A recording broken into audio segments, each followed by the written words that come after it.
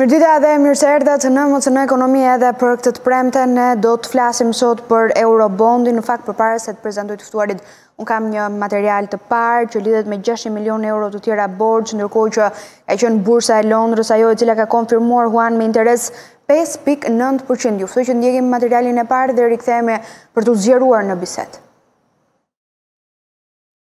Bursa e Londrës ka konfirmuar daljen e radhës së qeverisë shqiptare në tregjet ndërkombëtare duke emetuar një eurobond në vlerën e gjashtëqind milionë eurove. Të dhënat nga tregu ndërkombëtar tregojnë se ky eurobond ka një afat maturimi pesëvjeçar, një kupon prej pesë pikë nëntë për qind dhe një yield mesatar ose interes afatgjatë pranë gjashtë pikë njëqind e njëzet e pesë për qind. Borxhi i ri maturohet më nëntë qershor të vitit dy mijë e njëzet e tetë, pra pas pesë vitesh, dhe interesi do të paguhet çdo vit në datën nëntë qershor. Fillimisht qeveria shqiptare kishte parashikuar një eurobond prej pesëqind milionë eurosh për këtë vit, por duket se zhvlerësimi i euros ka nxitur që autoritetet të bëjnë një dalje në tregje për një vlerë njëqind milionë euro më të lartë. Zhvlerësimi i euros ndaj lekut i bën më të lira interesat e borxhit për qeverinë, përfshirë borxhet dhe eurobondet e vjetra, çka ka lënë në hije dhe interesat më të larta të këtij eurobondi, krahasuar me tre të kaluarit. Pjesa më e madhe e eurobondit të ri do të shkojë për të financuar borxhet e mëparshme. Në total, kjo është dalja e gjashtë në tregjet ndërkombëtare,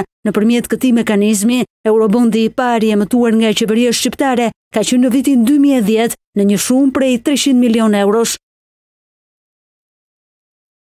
Për të diskutuar në lidhje me eurobondin edhe lëvizjet e fundit të qeverisë shqiptare, me mua në studio është profesor Elvin Meka, ekspert i financave. Mirëdita, kënaqësi si gjithmonë profesor. Në krahun tjetër në studio është bashkuar Teuta Nunaj Kortoçi, eksperte e ekonomisë. Shumë kënaqësi Teuta që të kam në studio. Faleminderit, është kënaqësi dhe. Vetëm pas pak ne na bashkohet edhe Pano Soko, ekspert i ekonomisë. Ai sigurisht i bashkohet bisedës sapo të mbërrijë në studio. Profesor, për ta nisur së bashku, 600 milionë euro të tjera borxh, është konfirmuar kjo hua edhe nga bursa e Londrës me interes 5.9%. Për çfarë nevojitet ky instrument borxhi? Natyrisht sipas asaj që është shprehur më mirë themi zyrtarisht qeveria, një pjesë e mirë duket se do të shkojë për shlyerjen më mirë themi të eurobondeve ekzistuese ose të, të asaj pjese të eurobondeve se ka. Pra marrim borxh për të shlyer borxhet e tjera. Si rregull global, jo vetëm shqiptar, qeveritë asnjëherë nuk e shlyejnë borxhin që kanë ose stokun e borxhit, ai mund mund të shtohet ose mund të zvogëlohet, por zakonisht nuk shlyhet. Përgjithësisht gjithmonë borxhi shlyhet me duke marrë një borxh të ri. Kjo është pak a shumë mënyra ose Qasja që kanë dhe në botë shtetet e tjera, nuk është se jemi të parët dhe nuk do jemi as të fundit për këtë gjë. Për këtë gjë nuk është se ka ndonjë debat ose specifik, pasi kështu ndodh. Madje, këto janë borxhe disi më afatgjata dhe në njëfarë mënyre jo në çdo kohë të vitit mund të dalësh dhe të emetosh të tilla. Por, kur vjen koha, sigurisht për të shlyer një borxh ose detyrim të kohës që ti ke në momentin aktual, ose që pritet, po themi, për çështje javësh ose muajsh, sigurisht që do dalësh dhe do emetosh një borxh të, të ri për të shlyer atë që ke të mëparshmin. Pjesa që mbetet, me thënë, se jo i gjithi shkon për shlyerjen ose për të bërë një themi një rollover, do të shkojë patjetër për mbulimin e shpenzimeve që ka me thënë qeveria shqiptare. Këtë vit, për sa i përket investimeve ose shpenzime të natyrave të ndryshme.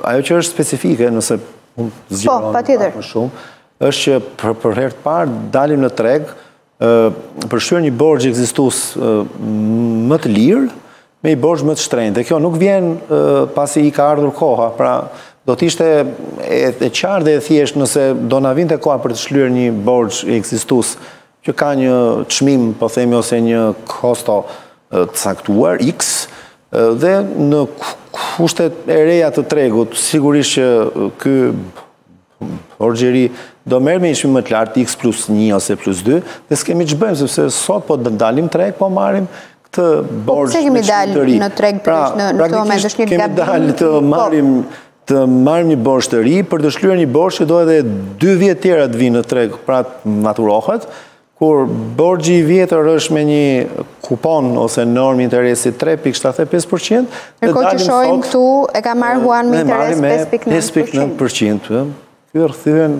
çdo rregull të financës ose të logjikës, më mirë të themi, ekonomike dhe financiare, funksionimit të gjërave edhe për njerëz të thjeshtë, jo më Për të llogaritur që bëhet fjalë për një borxh i cili përveç se është në një vlerë të madhe, se s'janë pak 600 milion, por do të shlyhet edhe për 5 vjet, pra nuk është pak. Teuta, ne dalim për të marrë eh, një borxh, sigurisht për të shlyer një borxh tjetër, por ndërkohë për borxhin e fundit kemi afat edhe dy vite. Pse ndodh kjo që hodhi në, në diskutim profesori dhe dalim me një interes edhe më të lartë, 5.9%? E vetmja arsye, që unë gjej tek pjesa logjike, që pse qeveria sot merr një borxh kur ka edhe një borxh edhe më të lirë, është fakti që gjitha kostot ia përcjellim brezave. Që nënkupton të gjitha koston e borxhit aktual, nuk mjaftohet për ta shlyer qeveria aktuale ose ekonomia aktuale, por i përcillet brezave më tepër në kohë. Unë gjykoj se janë tre arsye të cilat nuk do duhej të ishte marrë borxhi. E para nga vetë deklaratat e Ministres së Financave, e ka deklaruar që për 2022 neve kemi likuiditet. Kjo edhe si pasojë e të ardhurave më të larta se parashikimi për shkak të inflacionit çmimeve të larta që neve i kemi thënë gjithmonë. E dyta është fakti që është një moment i papërshtatshëm për të marrë një borxh të ri, kur ke borxh ekzistues duke qenë se normat e interesit në treg janë rritur. Pra nëse këto norma do vinin duke u ulur, bënte një logjikë ekonomike që unë do ta marr më të lirë, edhe pse më gjatë në kohë, pra nuk më rëndon në ekonomi, sepse do shlyej një më të ri. Ndërkohë, siç tha dhe profesori, kjo nuk ka logjikë, pra është një arsye për të mos u marrë. Dhe e treta në këtë rast lidhet me arsye pse nevojitet një borxh i ri. Nëse ne do ta marrim një borxh për të investuar, për të ndikuar në zhvillimin e ekonomisë që nesër të mund të sjelli hapjen e vendeve të reja pune dhe ky borxh do më gjenerojë para, automatikisht ky borxh mua do më bëhet disi më i lirë, sepse më ka sjellë hapjen e vendeve të reja të punës dhe unë investoj duke gjeneruar para. Nëse unë do ta marr një borxh për shlyer një borxh dhe për të mbyllur atë që shpenzime publike të cilat nuk gjenerojnë as vende të reja pune dhe as para, atëherë kosto e këtij borxhi është shumë edhe më e shtrenjtë. Ndaj në këtë rast mendoj që arsye dhe logjika ekonomike nuk ekziston. Edhe për faktin që është mjaft i rëndësishëm kursi i ulët i këmbimit i euros me lekun dhe marrja një Eurobondi në një vlerë kaq të lartë, në një moment kaq decisiv për ekonominë shqiptare dhe për eksportin, mund të sjellë ndikimin që të ulet sërish kursi i këmbimit dhe kjo sërish do e dëmtojë. Ndaj mendoj që është veprim i nxituar dhe pa një argument dhe mbështetje ekonomike marrja e këtij eurobondi. Një mendim të parë do doja ta merrja edhe nga Pano, është bashkuar tani në studio, eksperti i ekonomisë Pano Soko. Uh, po flasim Pano për daljen në treg dhe për marrjen e një tjetër eurobondi, po tashmë me një interes më të lartë, ndërkohë që borxhi i fundit kishte kohë të shlyhej edhe për rreth 2 vite. Profesorët argumentojnë dhe sollën uh, qëndrimin e tyre. Pse mendoni se po dalim pikërisht në këtë moment për të marrë një tjetër borxh? Pse kemi dalë gjithmonë, tjerë sepse mundemi. Qeveria shqiptare nuk ka një plan për marrë borxh. Pra nuk ka një plan detajuar, kur do merret borxh? Le ta sjellim në një plan në një rafsh më, më social, më të kuptushëm. Ti merr borxh kur ke nevojë për diçka. Pra kur ke një plan, të duhet të realizosh një gjë e cila do sjellë përfitim në të ardhmen dhe nuk i ke mjetet për ta bërë sot. Le ta marrim të gjithë listën që ju keni listuar këtu. Më thoni se kush ka qenë projekti që është financuar me të gjitha këto borxhe që kemi marrë. Për çfarë janë marrë? Ne kemi pasur thjesht detajimi që bëhet në momentin që uh, çohet le të themi, vendimi në parlament për t'u miratuar. Unë e kam lexuar, të gjitha herët kam lexuar relacionin dhe asnjëherë nuk e kam nuk kam parë një listë me investime që do të kryhen me lekët që do merren borxh. Përveçse faktit që investimet lekët e mbetura pas likuidimit të borxhit, sepse likuidohet borxhi i vjetër më përpara dhe pastaj pjesët e lekëve të që mbeten, pjesët e parave që mbeten investohen, E vetëmja gjë është një fjali e thatë, që merret copy paste nga relacioni në relacion, që thotë që pjesa tjetër e parave do të shkojnë për investime në arsim, shëndetësi, infrastrukturë. E paargumentuar. Dhe nuk ka asnjë lloj detajimi. Çka më bën të kuptoj që qeveria shqiptare nuk merr borxh sepse ka nevojë për diçka, ose ka një plan për të bërë diçka, dhe i duhen parat sepse nuk i ka parat. Qeveria shqiptare merr borxh, thjesht sepse ka mundësi të marrë borxh. Dhe natyrisht, Ajo që lind pyetje pas gjithë kësaj është lekët e borxhit ku shkojnë? Pra, ku humbasin, në cilin projekt humbasin këto lekë borxhi që për të cilat ne paguajmë këto norma interesi që ju i keni afishuar shumë, shumë, shumë mirë? Ku shkojnë këto lekë borxhi? E njëjta padije është edhe në këtë rast. E njëjta errësirë në informacion është edhe në këtë rast. Unë nuk e di se kush janë projektet që do financohen. Nuk e di pse po e marrim mirë. Pse jo 6, pse 600 dhe jo 550 për shembull. Kush do duhet të japë llogari për këtë Ministri i Ekonomisë dhe Financave? Tjetër. Patjetër, pse jo 435? Po. Pra, në qoftë se ne duam të marrim një borxh, duhet të justifikojmë paratë që do paguajmë për këtë borxh, se ky borxh nuk është falas, sidomos në këtë rast. Ky është një ndër borxhet me interesat më të larta. Domethënë, qoftë se është i dyti, përveç atë 2010-s, po. ky është i po. dyti. Po. Për nga norma e interesit. Me 5.9%. Kështu që unë dua të di pse do t'i paguajmë këto lekë me interesa. Pra kush është përfitimi ekonomik që do të marrë ekonomia shqiptare, qoftë qeveria shqiptare apo taksapaguesi shqiptar nga marrja e këtyre lekëve? Se mos të harrojmë. Ne duhet ne kemi në në në në synimet afatmesme afatgjata është konsolidimi fiskal. i Ministrisë së Financave. Ça do të thotë është reduktimi i, i nivelit të borxhit në nivel deri në 40% të prodhimit të brendshëm bruto në periudha afatgjata. Dhe ne sa herë që kapërcejmë 65% për rrethana nga më të ndryshmet, pra në këtë rast ne kemi kapërcyer 65% e prodhimit të brendshëm bruto, sepse prodhimi i brendshëm bruto nominal u rrit për shkak të inflacionit. Dhe ne u ulëm në 65% e e shoqëruar kjo dhe me rënien e, e kursit të euros. Dhe borxhi jonë ra poshtë 65 67%. Ne tentojmë gjithmonë që ta ngremë prapë në atë nivel. E kjo është pyetja ime, pse? Pse e bëjmë? Pse nuk tentojmë që ta reduktojmë borxhin? Ajo që thotë kolegia është e saktë. Çfarë po bëjmë? Po ngarkojmë gjithnjë më tepër breza që do të vijnë me me me detyrime. Sepse nuk shof ndonjë përfitim. Borxhi është shumë i thjeshtë. Do marr këto para, do paguaj kaq kosto, ama do nxjerr kaq përfitim. Do kaq është kostoja, kaq është përfitimi. Pra, unë do të nxjerr diçka nga këto lekët e borxhit kam, që po marr. Unë asnjëherë nuk kam parë vlerë të shtuar nga borxhi. Shikojeni se sa është vlera e borxhit që kemi marrë gjithsej. Ja nga dhe 2 miliardë ca nuk e kemi rritjen ekonomike ne. Për gjithë këto vite, deri në 2021, po ta, po ta mbledhësh rritjen ekonomike nuk na vete as, as sa borxhi. As sa borxhi nuk na vete rritja ekonomike. E gjithë vendit. Ça po i marrim këto lekë? Kjo është pyetje që shtroj unë dhe që ka e kam shtruar gjithmonë sa herë që është diskutuar Eurobondi dhe që nuk besoj se do t'i marrim përgjigje as këtë, as këtë radhë. Profesor, Shqipëria ka filluar emetimin e Eurobondit që në vitin 2010, sikurse kemi mundësi të shikojmë edhe në tabelat e pasqyruara, stoku arrin 1.8 miliard si instrument financiar, mund të themi që përkon me uljen e qëndrueshme të rritjes ekonomike? Unë doja të bëja një shtesë për çmimin. Po. Duket në 2010, po të shikohet, po. kuponi është i lartë, nominalisht i lartë, është 7.5, po duke llogaritur Shqipërinë e vitit 2010.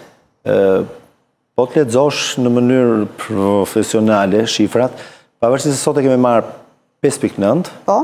dhe pak a shumë është me të njëjtin afat, 5 vite, spredi i riskut ose diferenca e rizikut që ngarkon, po themi, ose çmimi shtesë që duhet paguar që të joshet investitorë që ta blejnë. Po. Në vitin 2023 është më i lartë se sa ai eurobondi me 7.5. Pra, me vërtetë, tek ai 7.5, marzhi i riskut është ka qenë më i vogël se sa është sot marzhi i riskut.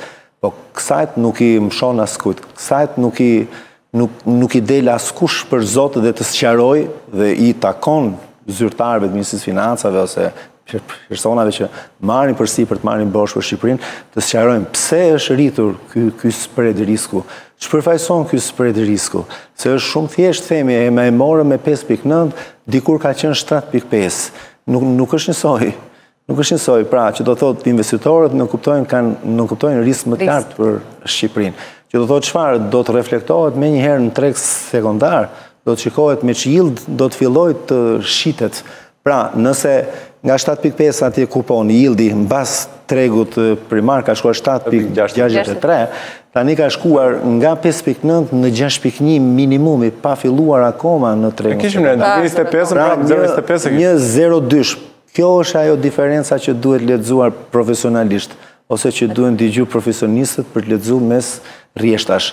Sigurisht që në qoftë se në vitin 2010 dolëm me argumentet dhe logjikën na duhen fonde për të përfundu rrugën e kombit dhe ok, bënte një lloj sensi dhe logjike për të hequr të ashtuquajturën kredi sindikale se morale më e shtrenjtë se kjo pra ka ca elementë pra është Më e saktë dhe e drejtë dalja në dy mijë e dhjetën se sa në dy mijë e njëzet e treshin, ku pa asnjë lloj argumenti, i vetmi argument që ka qenë i dy mijë e njëzet e treshit, ka qenë po e zëmë radhën që tani që të sigurojmë blerjen e borxhit nga tregu për të shmangur rrezikun e riinvestimit.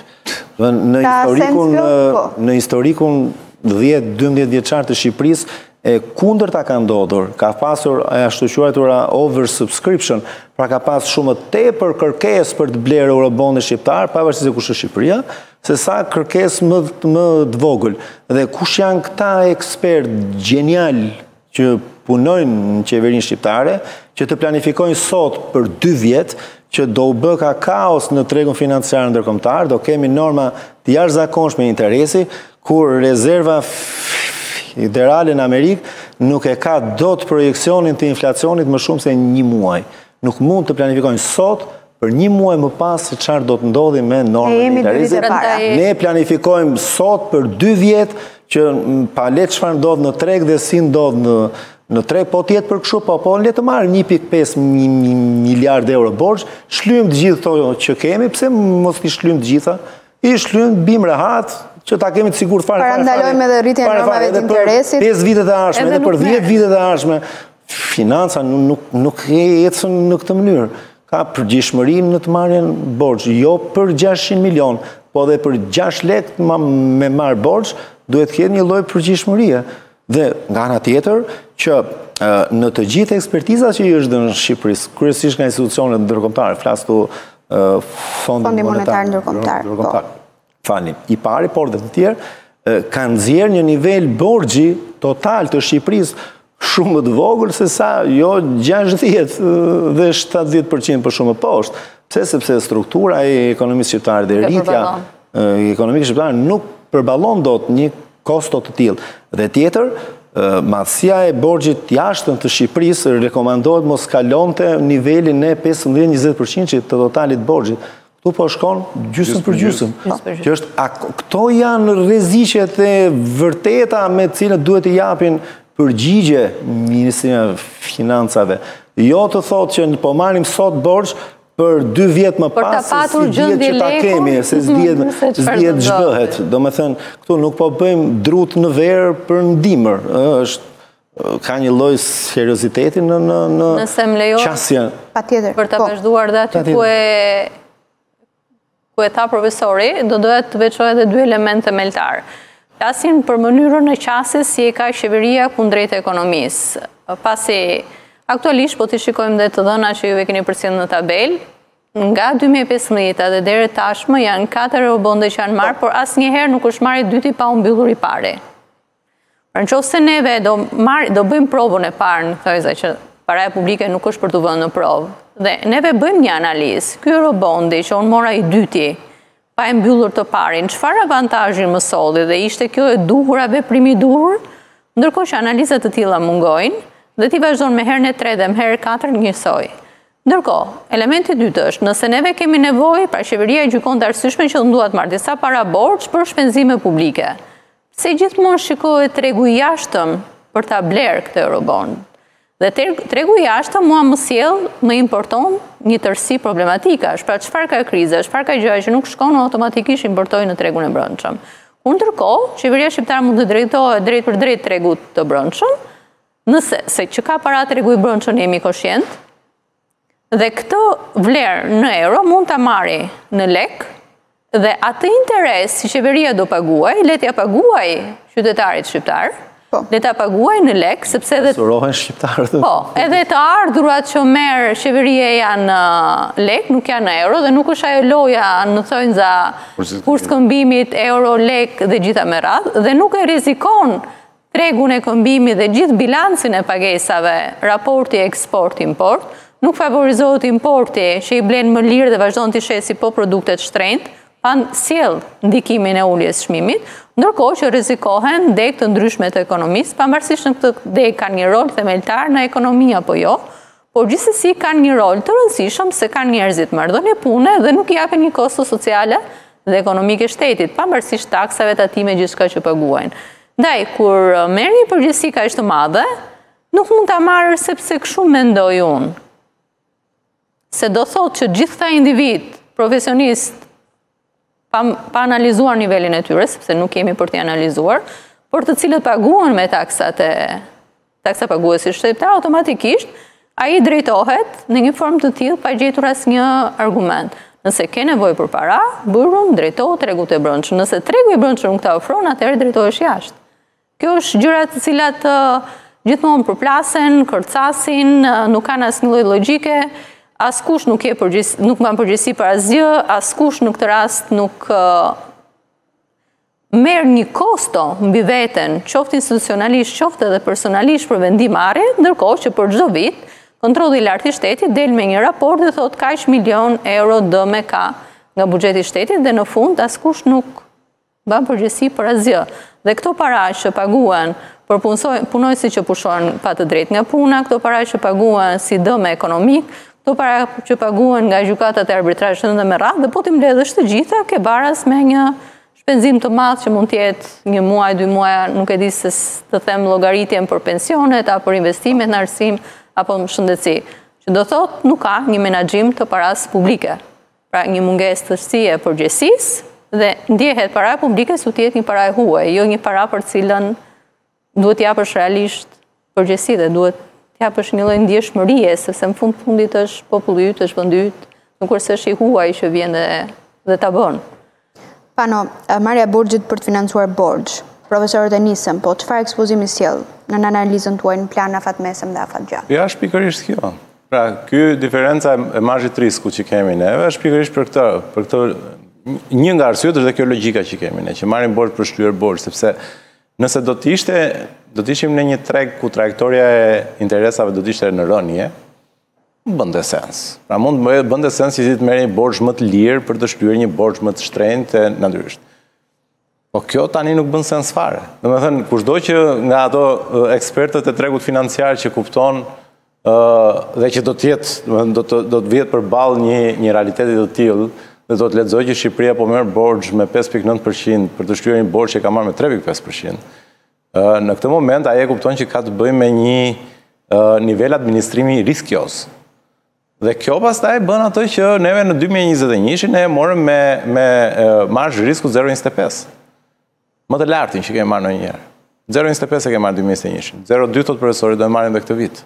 Pra, kjo është kostoja që paguajmë ne pikërisht nga këto, një nga arsyet është kjo, sepse janë disa arsye të tjera, domethënë dalja e shpeshtë e Shqipërisë Niveli i lartë i stanjacionit të borxhit. Pra neve, pavarësisht se kemi një strategji e cila do ta çojë nivelin e borxhit në 20%, pra tek 20%, dhe nën nivelin 20%, kemi rënë dakord, investitorët e shikojnë se ça trajektore po merr borxhi jonë. Domethënë, borxhi jonë mezi ulet poshtë 70% për elementë jorealistë, ose më saktë për elementë fiktivë ulet poshtë 70% thjesht nominal, Dhe kur vjen puna në atë momentin e parë, qeveria nxiton që ta kthejë përsëri në atë në në raportin e 70%. E gjitha kjo pastaj reflektohet te fakti që ne paguajmë uh, marzhe risku shumë të larta, praktikisht sepse s'kemi nuk nuk kemi atë uh, administrimin profesionist që do të na bënte të dilnim seriozë në sytë e investitorëve, investitorët me të cilët ne përballemi, sidomos bursën e Londrës ku ne marrim Eurobondin, janë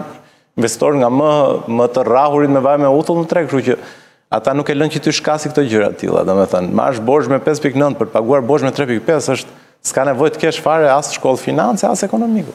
Është është nonsens. Po, profesor.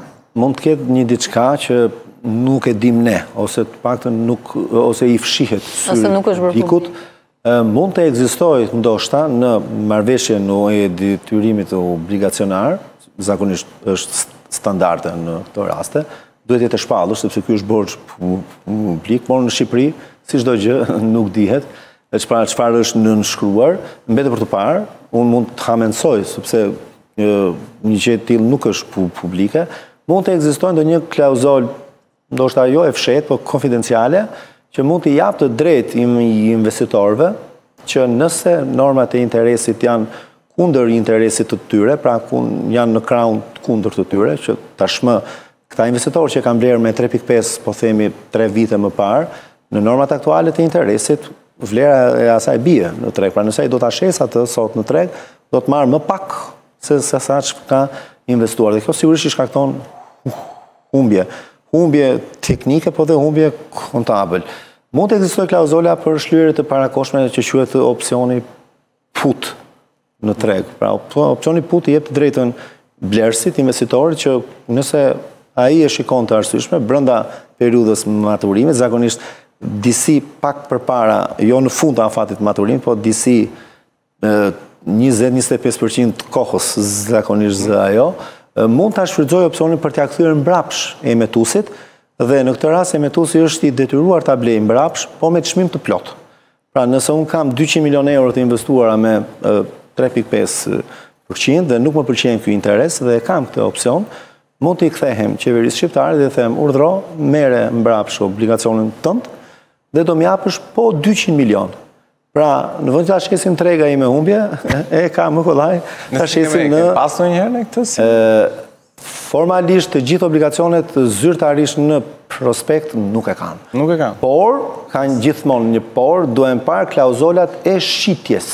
Klauzolat e shitjes janë pra të ndara po, nga klauzolat e prospektit.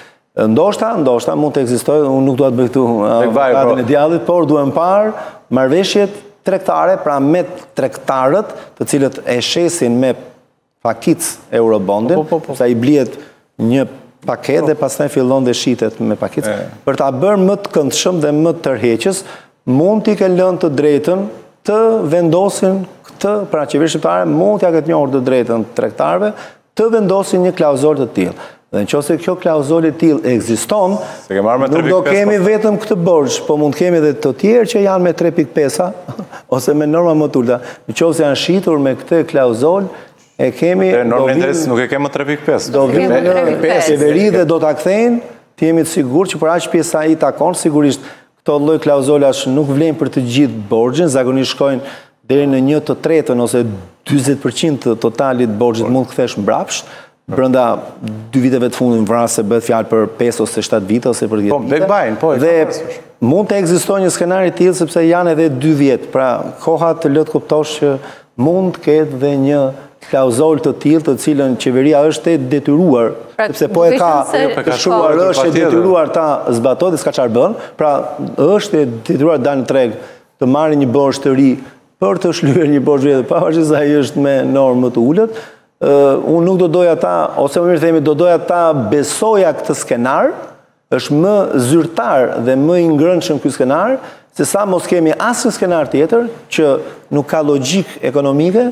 që vendos kryerjen e kësaj daljeje, pra që justifikon daljen me 5.9 për të shlyer pjesërisht një borxh që e ke marrë me 3 Pik pesë, nuk ka, nuk ka logjikë, nuk mund ta, në në qofë se unë në një bankë, ose në një treg, pra në një bursë, do të bëja këtë në emër të korporatës time, ose të, po themi, bankës time, ose të një diferenca, automatikës do isha përkuar nga puna, madhe do në kishë shumë për ndjekje, penale, sepse është kanë kanë shkaktuar dëm, dëm, dëm me ndërgjegje, dhe ky nuk është dëm nga padituria, ignoranca, ose pasaktësia, mungesa e informacionit, po kjo është dëm me ndërgjegje, pra të bësh një dëm miliona, dhe këtu bëhet fjalë miliona, nuk bëhet fjalë për 10.000 euro, 5.000 euro, edhe ai është dëm, s'ka pse të bëhet, por këtu llogaritet miliona, dhe kush mban përgjegjësi, Kjo është gjithçka. Problemi në Shqipëri është se tashmë ka fituar qytetarinë mosdhënia, ose jo mosdhënia e llogarisë, se këtu s'është dhënë asnjëherë llogari, po mosmbajtja e përgjegjësisë. Kjo është fatal. Edhe mungesa e informacionit. Ky është problemi kryesor, jo, se që kjo do të hapte një problem, kjo që tha profesori, pra në qoftë se kjo është e vërtetë, atëherë kjo do hapte një problem shumë të madh në lidhje me strukturën e marrëdhënies që ndërtojmë ne në momentin që marrim borxh. Sepse kjo është shumë problematike. Pra, nuk është se ne po ne po e marrim me kushte preferenciale, se jam dakord që back buying bëhet për ato bonde të cilat kanë kushte preferenciale. Pra, ma jep mua me 1.5%, pra ma jep ti mua me Euribor, dhe Euribori kur kemi marrë ne 3.75% ka qenë zero. Ka qenë zero. Dhe ne nuk kemi marrë kushte preferenciale kur kemi marrë 3.5-ën, 3.75-ën në fakt, por e kemi marrë me 3.75%, në qoftë se kemi dhe back buying pastaj, kjo do t'ishte, kjo do t'ishte një abuzim i pas, ose më saktë një skemë, sepse unë nuk e shoh dot që të ma japësh me 3.75% një bond që ti e ke të siguruar në një farë mënyre, sepse kjo është kesh, ta kesh bondin e siguruar, është që në momentin që rriten normat e interesit, ti ke mundësi ta kthesh. Po. bondin. Kjo edhe përpara investitorit. Kjo do të ishte për ndjekje penale dhe mund, sepse... Kjo edhe përpara investitorit e nxjerr vendin të paqëndrueshëm ekonomikisht, jo, të pa... Kjo është po shtabuzit. Absolutisht, të pasigurt në të ardhmen, pra një vend i cili nuk menaxhon dot paranë e vet. Atëherë, nëse ti do jesh... Ose për të shitur po. borxhin, është i gatshëm të bëjë çdo lloj mm, mm, aventurë. Çdo lloj po, aventurë. Ndërkohë që sërish Moody's dhe institucionet e tjera, do vijojnë ende ta quajnë Shqipërinë një vend riskioz dhe sa më shumë në risk dhe i hapur të jesh në këtë formë përpara tregut, aq më shumë do të rriten normat e interesit për borxheve, se ne e dimë, kur risku është më i madh, ajo çka do paguash është dhe më i madh. Po. Dhe mungesa e këtij lloji stabiliteti që t'i japësh makroekonomik vendin, nuk krijon asnjë besueshmëri te investitorët dhe neve tashmë që nga investimi madhor që ishte TAP-i, nuk kemi një investim të madh, madhor që realisht t'i japi një hov ekonomisë dhe t'i japi në fund një produktivitet, një produkt, një realitet që unë ndërtova këtë gjë. Të krijojë vlerë të shtuar për atë para... Të japi, pra të, të hapi vënde pune, të japi një ndikim në ekonomi në rritje, apo në shtimin qoftë edhe të një sektori të një pjese të pagave, a në rritjen e një të ardhure, ai thotë unë kam 450 milion euro mbi të ardhura, po tani duhet marrë dhe një borç tjetër, që në total, ke një miliard Euro që janë, se more ca pluse. More dhe tani një borxh, që në fund të fundit në fund, themi, ok, ça gjë e madhe do bëhet në Shqipëri, që neve do t'i harxhojmë gjitha këto para. Jo, e sigurt është që do të harxhohen. Që do harxhohen, por që edhe të harxhohen, edhe të harxhohen për paga, për punonjës të cilët nuk kanë produktivitet, ose nuk kanë cilësi shërbimi, pastaj i themi... Për të shkuar, pra edhe pak më thellë, do ishte shumë interesante, në qoftë se Për shembull në qoftë se do të isha unë në kontrol të lartë të shtetit, pra nga ana profesionale, do të hetoja cilët janë shit, ata që po shlyhen nga ky eurobond. Lista e, e mbajtësve të obligacioneve, që zakonisht janë institucione, përgjithsisht institucionet janë ato që i blenë këto eurobonde. Për të kuptuar, se mos ndoshta ka ndonjë collusion, pra një marrëveshje që Ma bli mbrapsht këtë dhe unë ta që të ma shesësh tjetrin, pra unë të përfitoj më po, shumë. Po, Me këtë, do parë lista e atyre që kthejnë borxhin mbrapsht dhe që po blejnë borxhin e ri. Se mos rastësisht përputhen emrat dhe po u përputhen emrat, Ky është problem. Problemi është përtej mungesës serioziteti, nuk bëhet fjalë më për mungesë serioziteti, këtu hyn në të tjera... Në dashje.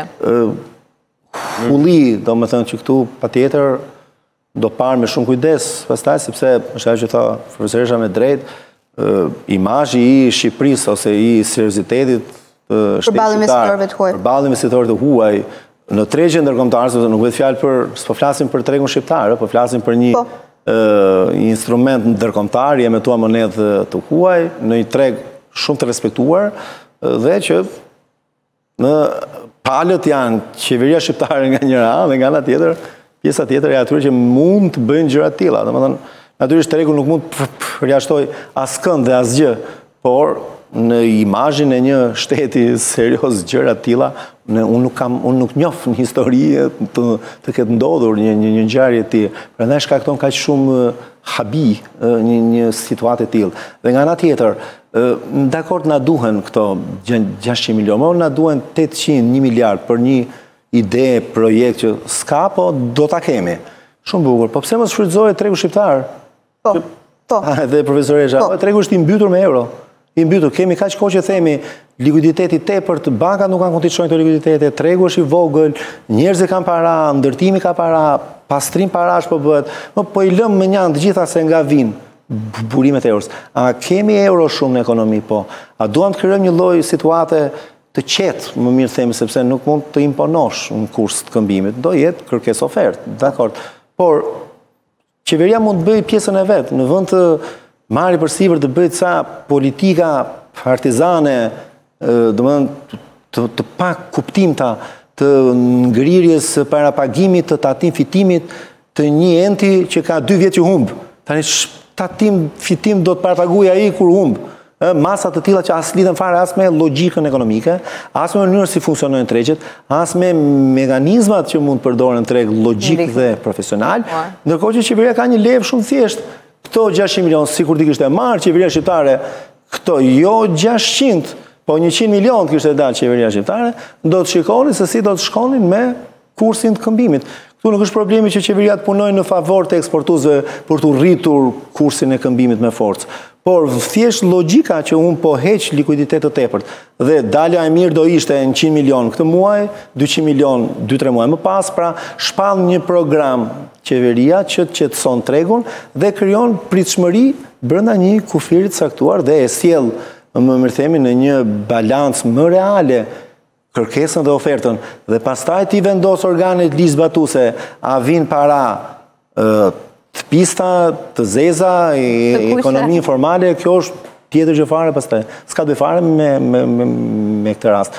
Dhe unë do isha i pari që do ta duartrokisja këtë lloj mase, ose më mirë të themi sipërmarrje qeveria shqiptare, për të zbutur qoftë edhe psikologjikisht njerëzit po shesin euro e euro Euro kot, po shesin euro sepse o burra ra euro, hajde të shesin dhe këto që të marrim një çmim më të lartë sepse për një javë do bjerë. Dhe po të shikon se ç'ndodh në Shqipëri, tre javë rresht kursi vetëm bie, katër ditë rresht kursi vetëm rritet. Nuk ka treg të ndodhi kështu në botë, përveç Shqipërisë. Pra ne siç jemi unikal në çdo gjë që bëjmë, dhe në këtë rast jemi unikal. Nuk, Çmimi mund të ulet, mund të bjerë brenda një dite, dy, një, tre, tre ditë bie, një ditë rritet, dy ditë bie prapë, tre ditë të tjera rritet, po nuk mund të ndodhi vetëm të bjerë, ose vetëm të rritet, pra, më fal, situata të tilla.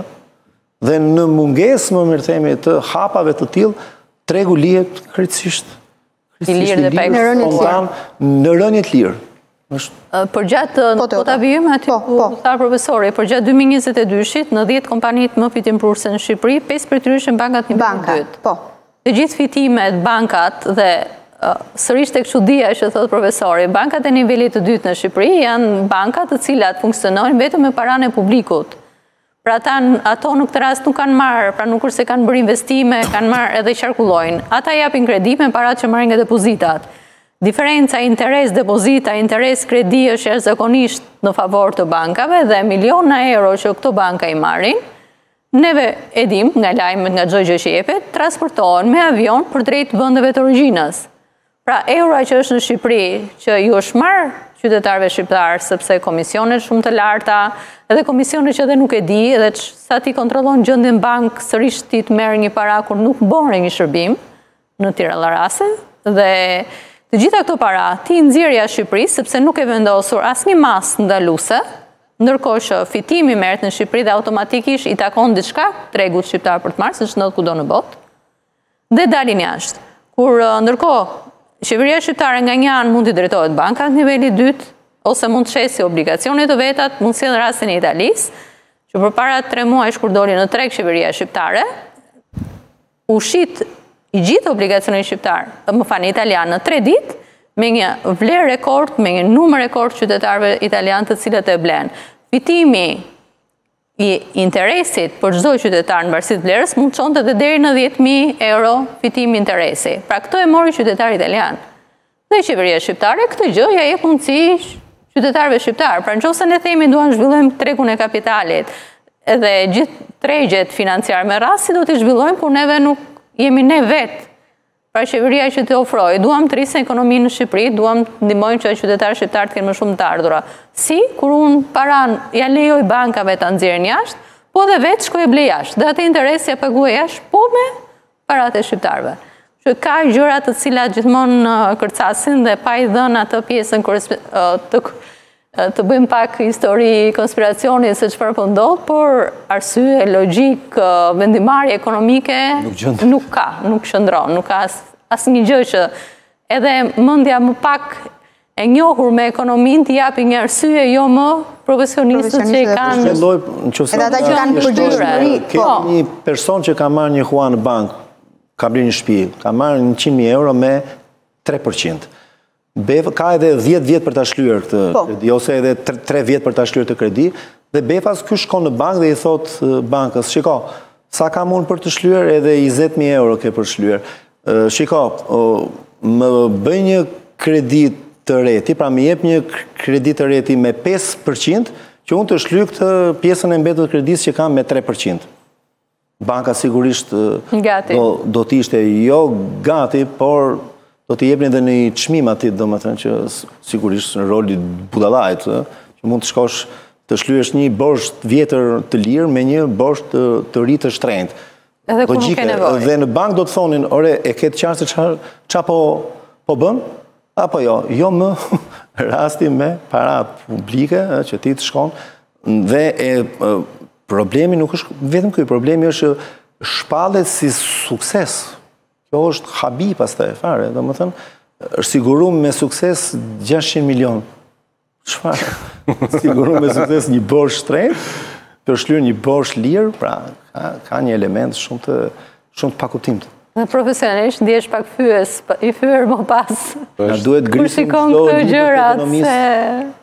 Pano, kursi i këmbimit u duk se do të ishte në favor të kësaj uh, huamarrje, por së fundmi shohim që monedha europiane po e rimerr veten, a ka ndikim direkt ky tregues në portofolin e Ministrisë së Financave dhe të Ekonomisë? Po, patjetër, në qoftë se dhe ky është momenti, domethënë, kur euro është e lirë dhe pritet të shtrenjtohet, ky është momenti më i keq për të dalë dhe për të blerë euro.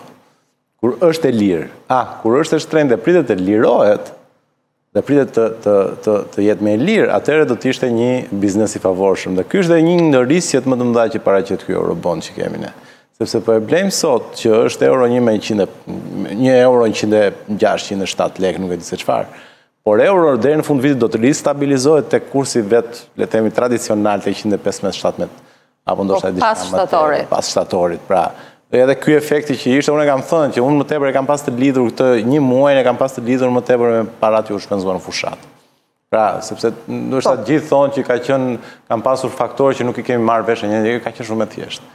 Paratë e fushatës u deshën ca kohë që të thyheshin. Ato lekët që ca e morën nën dorë, ca morën, ca bub, shitën votën, ca të tjerë bënë, organizuan evenimente, e tjera, e tjera. Shqipëria në një fushatë elektorale, thoshte një raport që kishte organizuar ODIHR-i në vitin 2020, është që në fushatat elektorale në Shqipëri kushtojnë 200 deri në 250 milion euro. Dhe janë këto shifra që mund ta lëkundin tregun, pra të sjellin atë luhatjen që ra euro nga 110, 111, 107 brenda një dite, me, 4, po. me, me gati 3.5 pikë përqindje. Kështu që me të mbaruar kjo euro po fillon të ristabilizohet edhe një herë, do të shkojë prapë te 110, do të shofim se si do të jenë prurjet e euros nga turistët në korrik edhe në qershor, korrik, gusht, besoj se do të jenë të larta. Po pas shtatorit, pas tetorit euro do të rri, do të ripozicionohet në atë pozicionin e vet, të themi në atë pozicionin e ri që ka zënë tani të 115-117, dhe momentit kur ti po bën, ti po bën biznesin në këtë moment pra, që do ta marrë borxhin, do ta thyejë me 105, 106, 107, që do të jetë në behar dhe më pas do ta kthejë kur euro të jetë 107, 110, 115 apo 117, Kjo është me humbje. Edhe kjo është një antilogjikë. Dhe prandaj me të drejtë tha edhe profesori dhe profesoresha që por hajde t'i drejtohemi lekut se është më i sigurt në këto momente. E të ardhur pra, te lek. Pra s'ke nevojë ti pse shkon te euro. Ti do të duhen para. Të duhen para, merre lek, është më i fortë në këto momente. Leku në këto momente është më i stabilizuar, është më i fortë, është më i sigurt. Për të paktën, për të ardhmen afatshkurtër është shumë më i sigurt. Pse duhet të shkosh ti deri në borxhin në lek Kontabilizohet po në lek, siç kontabilizohet po, prodhimi i përgjithshëm bruto. Borxhi i jashtëm kontabilizohet në lek. Po, dhe rënia e kursit automatikisht ul. E bën më të lirë. Borxhin edhe bën atë manovrën, po. Por, problemi do jetë mas shtatorit. Mas shtatorit, sepse. Euro do të rritet. Po. Ky 600 milion do jetë asgjë përballë miliardave që kemi në në stokun e borxhit i cili automatikisht do të rivlerësohet. Ja 5 miliard euro. Në rritje nga nën 70% që do jetë borxhi do shkojë për një muaj Pa bërë po, asgjë. Janë 5 miliardë euro që i kemi euro. Janë do të shkojë direkt mbi 70% do të kërcejë. Dhe ky është problemi. Pra, qeveria gëzoi një vit e gjysmë me rënien e euros, por ka dy anë medalja, mund të fillojë Pra mund të përgatitesh të gëzohesh kur bie, po, po kur fillon e të rritet pastaj, si do dalë, do fillosh të shtrëngohesh pastaj, se shtrëngimi çfarë ka?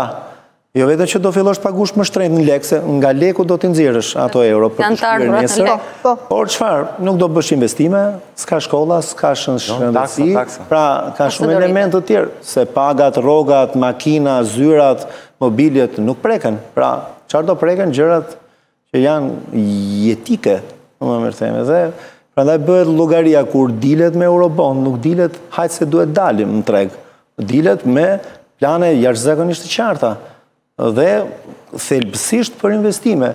Obligacionet, qeveria ka një lloj detyrimi, ndoshta për borxhin afatshkurtër, dhe për emetimin e bonove të thesarit nuk ka detyrim ligjor të shprehet, Sepse janë për mbulimin e deficitit buxhetar kryesisht. Pra janë për mbulim detyrimesh korrente, por për pjesën e investimeve, pra për eurobonde që zgjasin 10 vjet, 7 vjet, pra efekti është i shtyrë në kohë, është afatgjatë, me të drejtë. Po, dhe profesor, meqenëse jemi këtu. Ka një po. detyrim institucional që të shpjegohet dhe të lidhet ashtu siç bën privati kur emeton një borxh afatgjatë, një bond, një obligacion është i detyruar të shprehet për çfarë do t'i çojë këto para, se nuk të jep kush para se më duhen mua, si, duhen ty për çfarë. Edhe qeveria ka detyrimin moral, pra një qeveri serioze ka detyrimin moral dhe përgjegjshmërinë morale ndaj qytetarit dhe dhe publikut që e mban me taksa, që të shpjegojë, ashtu si në 2010 u tha, këto para po i çojmë për të shlyer drejt këtij investimi, po sindikale për këtë investim ose për investime të tjera, Edhe në këtë rast duhet të ishte thënë, e qartë, 200 milion i kemi për këtë, 100 milion për këtë, ose 7 milion i kemi për këtë, do t'i marrim, këtë pjesën dhe do shtojmë borxh, po duhet të jepen shpjegime. Kjo lloj po, arrogance, marrë, s'ka shpjegim për asgjë, është As Banka e Shqipërisë nuk mban një qëndrim, sepse ajo ka funksionalitetin e mbajtjes së politikës monetare në vend, të gjithë qarkullimit të parasë në vend, pavarësisht nëse do jetë euro apo do jetë në lek, po. dhe ajo nuk ka asnjë lloj qëndrimi, që normalisht ajo duhet të jetë një shëllukse në tilla raste kundër qeverisë. Dhe elementi i dytë është flasim për de-euroizimin e ekonomisë, se kemi mbi, popull, mbiprezencë të euros. Dhe në këtë rast, qeveria sërish e shton euro në treg. Pra, unë duhet të punoj me lek apo duhet të punoj me euro. Meqenëse ju e nënvizuat me të drejtë, me logjikë shumë të thjeshtë ekonomike, kush mund ta bëjë auditimin e këtyre eurobondeve. Kush mund, kush duhet ta bëjë? KLSH-ja ka tagrin ligjor të kontrollojë çdo veprim të qeverisë, ose të zyrave të shtetit, po themi, ose të institucioneve shtetërore. Çdo shpenzim publik që realizohet. Kontrolli i Lartë i Shtetit. Kontrolli i Lartë. Absolutisht që po. Edhe ai është institucion i pavarur që jep llogari në parlament, pra nuk ka llogaridhënie kundrejt qeverisë që të ketë një varësi dhe për pasojë mund të ketë një, një lloj ndikimi. Mirë, ne e thamë që çështja del me raporte, po askush nuk del përpara përgjegjësisë në fund. Po. Kjo është, po. Po, kjo është një pyetje shumë shumë konkrete dhe në zakonisht pyetjet e thjeshta janë ato më të vështirat. Përgjegjësinë për marrjen e vendimit. Sot që flasim, pra, kush, domethënë, studimin e tregut e bën Ministria e Financave, bashkë në bashkëpunim me Bankën e Shqipërisë, bëjnë studimin e tregut për daljen me Eurobond, vendimin për të marrë për daljen me Eurobond e merr kryeministri. Dhe kjo është hallka e dobët e zinxhirit të përgjegjësive që kemi. Vendimmarrjes. Pra, ai ka, hallkën, ka, ka të drejtën për të marrë vendimin. Kjo është hallka e dobët. Vendimi për të dalë në Eurobond, pra vendimi për të dalë, pavarësisht se shkon ratifikohet në parlament. Por vendimi për të dalë në Eurobond duhet patjetër që të ketë një gërshetim dhe të ketë një firmë aty edhe Banka e Shqipërisë. Sepse nëse i lihet vetëm pushtetit, pra çështja institucionet janë shteti, Parlamenti, qeveria janë pushteti. Pra të ketë një vendimmarrje politike, në këtë rast të ketë një vendimmarrje dhe ekonomike, jo vetëm politike. Pra vendimmarrja duhet të jetë e alternuar, duhet të jetë teknike, sepse shiko, çfarë ndodh, kryeministri jonë nuk ia ka haberin e ekonomisë, jem së njërë, e ke dim të. Po nuk e fsheh. Ka dhe raste të tjera në botë, nuk është. Pra, po po po, kryeministri nuk ia di po, ekonomisë dhe shumë raste keni kryeministrat nuk ia dinë ekonomisë, 1% e popullsisë mund të marrë vesh nga ekonomia. Në çdo vend të botës 1%. Fakti që ai merr këtë vendim kaq të rëndësishëm. Që ne do të na kushtojë, nuk e di, diku tek rreth, mos gaboj do shkojë diku tek rreth 100 milionë ndoshta diçka edhe më tepër për të gjithë periudhën, kostoja e këtij borxhi. Kosto shtesë. Shtesë, po pra. Pra plus të asaj që ke marrë, do ta paguaj. Shtesa. Po për të identifikuar, se thonë, ok, mora 600, jo, po jap 100. Jo, do marrim 600, do paguajmë 700, 750, diçka e tillë, nuk i bëj dot llogaritë me mendje tani. Pra, fakti që ne paguajmë këtë me një le, me një firmë te një personi i cili nuk e di ekonominë, pra nuk e ka haberin e ekonomisë ose më saktë nuk e ka profesion do të them. Ose më saktë nuk e ka nuk e ka njohuritë e duhura për të marrë këtë vendim. Ky është hallka që që që le të themi e dobëson zinxhirin. Dhe ku e dobëson? Te fakti te kërkimi i llogarisë. Unë do t'ia kërkoj llogarinë njeriut që ka marrë vendimin për të marrë borxhin. Në qoftë se do të thuash siç thotë profesori që do të shkojë kontrolli i lartë i shtetit, është e vërtetë. Por të gjithë do të fshihen pas kryeministrit. Të gjithë do thonë, tha kryeministri. Tha kryeministri. E ka bërë këshilli i ministrave. Ka bërë këshilli i ministrave. Që është asnjë s'mban përgjegjësi. Kolegjial. Kolegjial, asnjë s'ka përgjegjësi. Domethënë, këshilli i ministrave ka bërë me vendim kolegjial, thotë ai. Dhe të gjithë fshihen. Dhe fakti që na lë, ky është një moment shumë delikat, sepse na lë ekspozuar në një shifër të madhe, pra niveli sot i borxhit është diku tek rreth 1.4 trilion lek. që ta dinë shqiptarët. Pra i kemi 1.4, rreth 1.4 trilion lek borxh sot. Nga cilën gjysmën të huaj. Gjysmën e kemi 700 miliard lek, i kemi euro. 600 miliard lek, më falni, kemi euro, kemi... Të huaj. Po, kemi ca dollarë, që kemi marrë borxh. Pra, do të kuptojmë që ky nuk është një gjë, nuk është një, as vendimmarrje një tenderi, një milion, dy milion, nuk, nuk të vlen fare përpara kësaj gjëje, më kupton. Përpara këtyre, ripagesat në Republikën e Shqipërisë janë 80 miliard lek në vit. E dini që 800 milion dollarë ne paguajmë çdo vit për ripagesa. Interesat e borxheve që kemi marrë. Shërbimi. Shërbimi i borxhit. Ky është problemi i madh. Dhe kjo e gjitha kalon në një vendimmarrje sa obskure, po aq edhe jo profesioniste. Dhe po s'u rregullua kjo hallka e zinxhirit, pra mënyra si merret vendimi për të marrë eurobondin. S'mund të jetë vetëm me fjalën e Ramës se thotë Rama që se i ka thënë një një partner apo një tjetër që shikon merr ca lek borxhe na duhet na duhen borxhe. E mbyllim kështu. Ju falenderoj shumë që ishit me mua në studio. Faleminderit ty. Ne do të rishihemi përsëri javën e ardhshme në këtë hapësirë dedikuar zhvillimeve ekonomike në ekranin e MCN në orën 16 të hënën. Faleminderit për vëmendjen.